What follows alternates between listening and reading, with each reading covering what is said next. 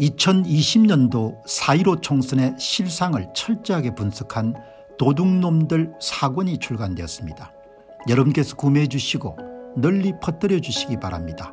선거를 바로 세우고 나라를 바로 세우는 정의로운 길에 여러분께서 적극 힘을 더해 주시기 바랍니다. 감사합니다. 한동훈 비상대책위원장은 동료 시민들이라는 그런 표현을 상당히 좋아했는데 동료 시민들이 선거 공정성을 외치는 사람들은 거구다 뭐 이렇게 아마 국힘당에서 막 간주를 하는 모양이에요. 그래서 민경욱도 거구라서 이름 컷오프를 시키고 김소연도 이름 거구라서 그 컷오프를 시키고 아마 그런 모양이에요. 잘라서 이야기하게 되면 은 대한민국에는 거구가 없지 않습니까 대한민국에는 그렇게 우리가 전통적인 의미에서의 파시스트라고 불릴 수 있는 그런 극우는 존재하지 않는 거죠. 그거 이제 거기다 프레임을 씌워 가지고 주홍 글씨를 음, 중앙일보의 심새롬 기자가 막말 경쟁 경, 경력자 컷오프 가차없다 이렇게 이야기합니다. 막말이 있었다는 이야기는 다르게 이야기하면 국힘당과 같은 웰빙 정당 안에서 투사적 기질을 가지고 싸웠다는 사람인 거죠. 예. 싸운 사람들을 다 제거해버린 겁니다. 4월 10일 총선을 앞둔 국민의힘의 아스팔트 우파와 거리를 두고 있다. 공천관리위원회가 논란 인사를 컷오프하는 한편 한동훈 비상대책위원장은 입단 속에 나섰다. 예. 그래도 이 두 사람이 그렇게 선거 공정성을 위해 노력을 했기 때문에 김소연 변호사는 이제 변호사로서 이렇게 그 사건을 수임해 가지고 이제 많이 활동을 했고 초창기에 그다음에 처음부터 끝까지 계속해 선거 부정 이슈가 예, 그렇게 끝나지 않도록 그렇게 노력했던 분이 민경욱 후보인 거죠. 예, 이두 사람이 이제 다긴 예, 변호사는 2020년 개시한 달림은 영창으로 현수막이 민경욱 전 의원은 국내외에서 부정선거 운동에 이르기 문제로 지적했다. 너무나 이름 잘한 일이지 않습니까 김소연 변호사처럼 그렇게 달림은 영창으로 그렇게 고급스럽게 상대방을 공격할 수 있는 어느 조탕력을 가진 사람들도 국힘당에 없잖아요. 그 어목한 시절에 김소연 변호사의 달림은 영창으로 얼마나 많은 사람들에게 해학적인 그런 의미를 던져줬습니까 그거를 막말이라 이름들 쳐내는 겁니다. 그러니까 국힘당도 참 예, 앞으로 어떻게 될지 한번 두고 봐야 할 것 같습니다. 다수가 눈살을 찌푸릴 극단적 은행은 가차없는 간점 요소로 한게 공간이 설명이다. 달림은 영창으로 이것이 여러분들 무슨 예?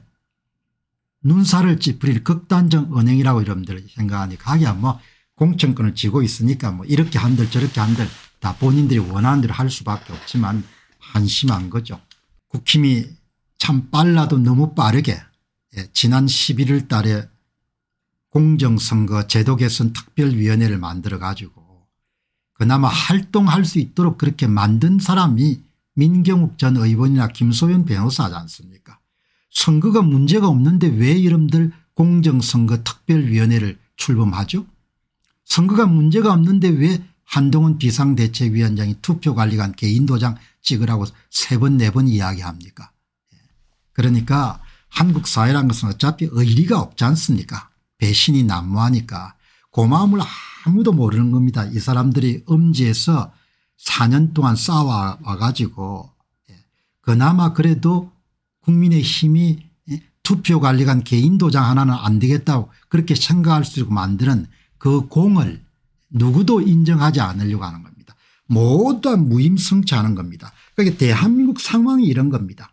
대다수 국민들은 선거가 망쳐지든 선거를 도둑질 당하든 관계없이 관심이 없는 겁니다. 예. 그냥 무임성자 공짜 정신의 전형적인 의리가 없는 싸가지가 없는 그런 사회 모습을 또 한 번 보는 겁니다. 너희들이 그렇게 인식을 하게 만드는 것도 이 사람들이 4년간 투쟁을 했기 때문에 가능한 건데 그거는 다 없애고 예. 가만히 숨지고 있던 애들이 다 뭡니까 덕체하는 그런 겁니다. 그러니까 뭐 어떻게 하겠어요. 그래서 결과가 좋게 나오겠습니까 좋게 나오기를 바랍니다. 선거가 얼마나 남은 시점에 제가 뭐 나쁜 말은 할 필요가 없죠. 덕담하는데 좀 이거는 너무했다는 겁니다. 다수가 눈살을 찌푸릴 극단적 달림은 영창으로 얼마나 시적이고 아름답지 않습니까 공격당하는 사람들도 야 어떻게 이렇게 저렇게 언어를 잘 만드냐 그렇게 생각했겠죠.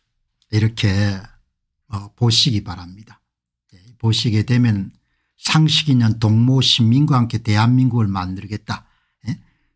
상식 있는 대한민국 동료 시민과 함께 대한민국 미래를 만드는데 선거 공정성을 규명하기 위한 사람들이 예? 그 진짜 동료 시민들인 거죠. 선거 공정성을 여러분들 외치고 그것을 해결하기 위해서 노력한 사람들이. 예? 이런 싸가지 없는 짓들을 왜 하는 겁니까 예?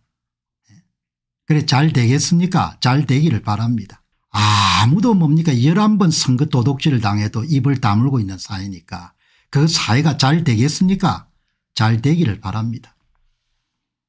11번 선거 도둑적이 발생하 대통령이 입을 다물고 계신 겁니다. 잘 되겠습니까 잘 되기를 바랍니다.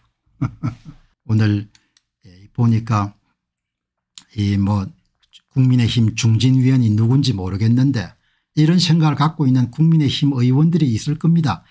태극기 세력에 매몰돼서는 승리도 미래도 없다는 것이 황교안 체제의 교훈이다. 보수 정체성을 지킬 때 거우 선동 세력과는 분명히 선을 긋고 가는 게 종합에서 유리한 결과란다. 보수 정체성이 부정선거를 깔아뭉개는 거냐 보수가 여러분들 선거 부정을 깔아뭉개고 나라가 잘 되기를 바라는 세력이냐 에라 인간들아 선거 부정을 10번 11번 12번 여러분 해도 입을 다물고 있는 거 그게 보수 세력이냐고. 보수 세력은 제쳐두고 그게 인간이냐고. 그게 짐승이지. 나는 그냥 그 짐승이라고 보이지. 보수 정체성을 지키되 거구 선동 세력과는 분명히 선을 긋고 가는 게 총합에서 유리한 결과를 낸다. 에라이 인간들아. 여기다 또 표주는 사람들이 있을 테니까. 앞에서 여러분들 일본이 건축 노벨상을 아홉 번 받았다 이렇게 이야기해 다 그것도 여러분들 국민들 수준이 있어서 받는 겁니다. 국민들 수준도 있고 뛰어난 건축가도 있고 뛰어난 건축가가 여러분들 그렇게 자기의 역량을 발휘할 수 있는 그런 제도적 공공건축물에 대한 제도적 장치도 있고 예, 그러니까 뭐 이런 걸 보고 또 박수치는 사람이 많으니까 박수치는 사람이 꽤 있습니다. 민경욱 김소영 같은 사람들이 국회에 들어가면 이 나라는 좀 더 믿을 만하고 유무와 정의가 봄 햇살처럼 퍼지려만 이 나라는 아직 그 정도의 행복을 허용할 만한 세상은 아닌 듯합니다. 안타까운 노릇입니다. 한동훈을 비난할 생각은 없습니다. 그의 한계 때문입니다. 예. 뭐 찬성하는 사람이 10명이고 반대하는 사람이 12명이니까 이게 대한민국의 수준인 겁니다. 이게 대한민국 수준이기 때문에 뭐 오늘 이 방송 보시는 분 가운데 대한민국 수준에 대해서 너무나 언짢게 여기십시오. 그 수준을 높을 수도 낮을 수도 이게 여러분들 수준인 겁니다. 달림 영창 같은 기막힌 워딩 능력자를 왜 컷업하냐. 예. 찬성이 18명이고 반대가 6명입니다. 그래도 개중에 이 기사에 대해서 반대하시는 분들이 예. 한동훈 비상대책위원장 거구 아스팔트 우파가 강하면 안 짓겠으면 촛불 광풍이 진작에 휘말아쳤을 겁니다. 그들이 없었다면 당신도 그 자리에 있다고 장담을 했겠습니까? 그렇게 이야기하는데 뭐 어떻든 사람들 수준이 예, 예, 뭐 어떻든 그렇게 하니까 예, 당분간 그렇게 또 살 수밖에 없는 거죠. 그러나 선거 공정성을 외치는 사람들이 거구 세력이다. 이거는 뭐 아니지 않습니까? 그런데 그거를 그렇게 믿고 그렇게 떼거지를 여러분들 지어가지고 활동하는 사람들이 국힘당의 다수를 차지하고 있으니까 뭐 그냥 그렇게 할 수가 없는 거죠. 2022년 지방선거에서 일어난 일을 낱낱이 밝힌 도둑놈들 5권 2022년 지방선거 어떻게 훔쳤나가 출간되었습니다. 이미 발간된 도둑놈들 1권 선거 어떻게 훔쳤나 2권 2022년 대선 어떻게 훔쳤나 3권 2022년 대선 무슨 짓을 했나 4권 4.15 총선 어떻게 훔쳤나 이어서 다섯 번째 발간된 책입니다. 여러분께서 구매해 주시고 주변에 널리 알려주셔서 선거 공정성 회복을 위해 전 국민 필독서가 될 수 있도록 힘을 대주시기 바랍니다. 감사합니다.